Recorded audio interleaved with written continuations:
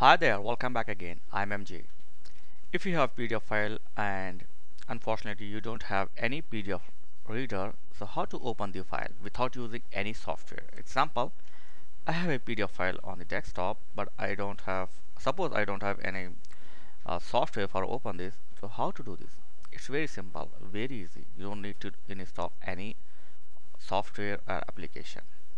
Do one thing, right click on this, click on open with and click on choose another app.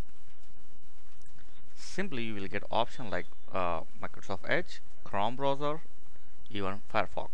Now I'm checking the Microsoft Edge. Select this. Okay and boom that's it. Your PDF file is open.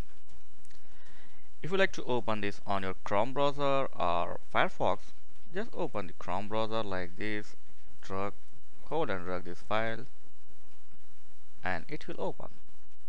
It's very simple yeah? And Firefox do the same. This is Firefox. Hold.